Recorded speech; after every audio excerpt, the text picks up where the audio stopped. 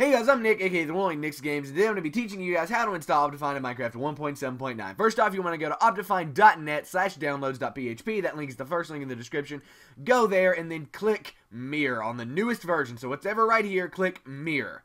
It will then take you to this page. It'll look a lot like this, and then click Download right here. It'll then download it keep. It's a safe file. I promise. If you want to look in the comment section down below, you'll see a ton of people have downloaded it with no problems whatsoever. But after you've done that, you can close out of this. Now you want to right click on this file, go down to Open with Java TM Platform SE Binary. Click that, and it will then open this right here. You can then click Install, and it'll go through that. Boom, Optifine is successfully installed. Okay.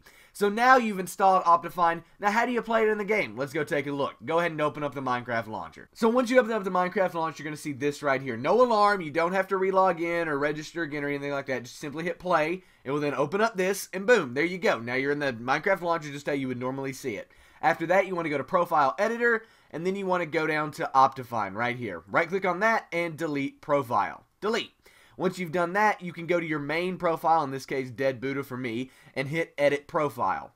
Then you can go to use version. It probably isn't release 1.7.5 mods. Honestly, it's probably release 1.7.9. So use version, it'll probably be that or whatever it is. Click on that and then find 1.7.9 dash optifine underscore HD underscore U underscore D2.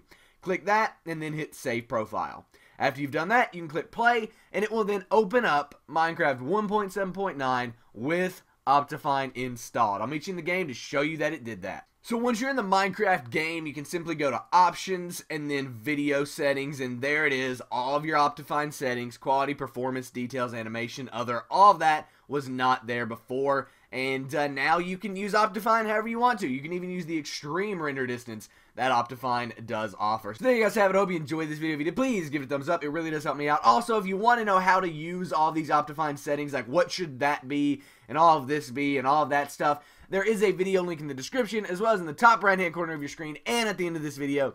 That will help you do that. It'll walk you step by step through how to do the Optifine settings. Anyway guys, I'm NicsGames. If you enjoyed this video and it helped you out, please subscribe. It really does help me out and it means the world to me. Like the video if it worked. I'm NicsGames and I'm out guys. Peace. And here's some videos you guys might want to go check out. On the left is how to install more than one mod at the same time, meaning how to install like Optifine and too many items at the exact same time. Go check out that video to figure out how to do that. Also, check out the video on the right, which is how to set up Optifine, meaning how you can do all the settings and everything like that that I talked about in the video. How exactly did all those work and what should they be? Go check out that video to learn how to do that. Also, check out my daily vlogs, bombs your screen. I'm NicsGames, and I'm out, guys. Peace.